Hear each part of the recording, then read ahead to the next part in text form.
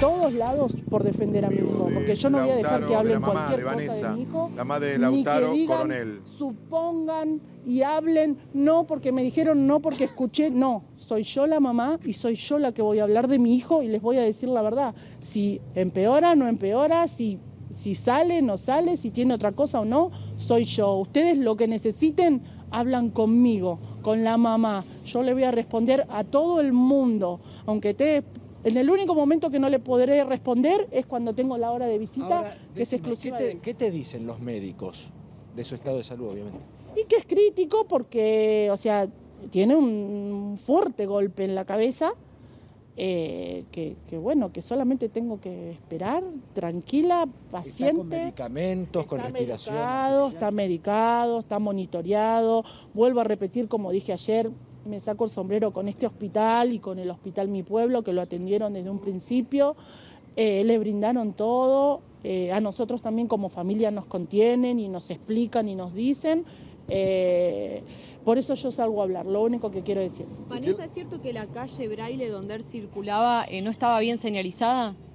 No sabría decirte porque yo no... Porque varios vecinos nos estuvieron comentando que hubo varios accidentes en esa intersección.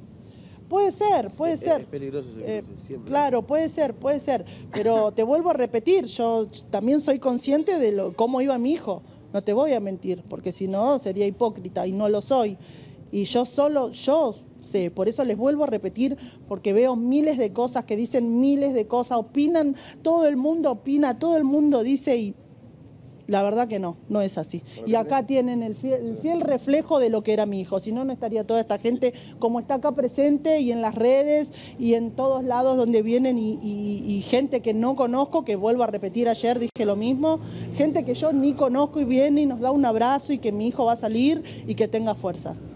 Bueno, muchísimas gracias. Vanessa. No, por Bien, favor, gracias a ustedes. Acaba de Muchísimas terminar, Gracias. Acaba de terminar la conferencia de prensa de Vanessa, la mamá de, del autor coronel del Nova. A ver, eh, si alguien la conoce, nosotros estábamos escuchando una parte que comenzó antes, pero más o menos repitió lo mismo ella. Eh, si alguien la conoce de mi parte, felicítenla, me parece que ha sido impecable esta mujer. Una mujer que dice, yo soy consciente de lo que mi hijo hizo. No le echó la culpa al conductor del Peugeot 308, que es lo que se especulaba. No quiso contestar el tema del Estado de Salud, fue muy eh, Cauta. cauta. Dijo, acabo, no, no sé, porque estoy entrando al hospital, solamente escúchenme a mí, dice en cuanto a la información que reciban.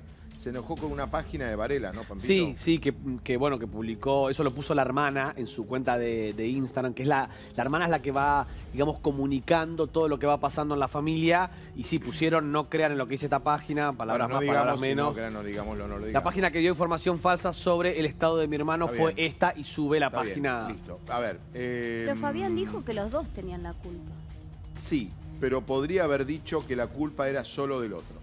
Vos entendés que es una madre Ella que tiene un hijo No, no, a mí me debatiendo. pareció re sincera. A ver, o sea, debo, debo decir, todo. entendamos las circunstancias. Sí. Ella dice lo que dice y yo elogio lo que ella dijo en este contexto, porque a mí me habían dicho que la familia está en una postura diferente, de echarle la culpa al otro conductor Sí. y de que el chico no tiene la responsabilidad de nada. Y yo escuché una madre, hay que estar parada, Sí. parado ahí. Súper sensata, ¿no? Tiene los entrando a ojos ver todos a tu hijo, brillosos. esa- esta mujer no ha dormido. Muy entera, muy muy- entera. con mucha Digo, fe. eso, con mucha analicemos fe. la